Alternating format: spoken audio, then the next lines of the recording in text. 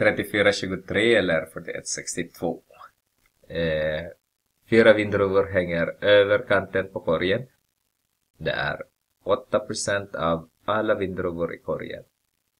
Det finns x antal vindruvor i korgen. Det betyder så här. Vi har fyra stycken som motsvarar 8%. Och det finns x antal som motsvarar 100%. Så om vi dividerar x med 4 är lika med 100 dividerat med 8. Vi multiplicerar båda led med 4.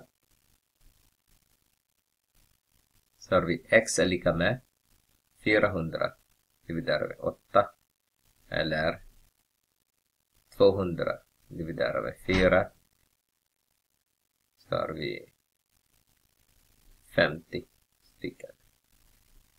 Ett annat sätt att räkna den här är att, kommer ni ihåg mina triangel så här? För att räkna hela så vi måste dividera delen med andelen. Så andelen är andelen är 0,08. Så hel, delen är fyra stycken. Så för att räkna hela, eller vi kallar den för x är lika med delen så är det fyra stycken dividerat med 0,08. Och vi multiplicerar båda led med 100 så får vi 400 dividerat med 8. Ser vi att vi kommer tillbaka i den här nu. Så x är lika med 50 stycken. Det finns ett annat sätt till att räkna. Till exempel, vi vet att eh, 0,08 av det hela är lika med 4.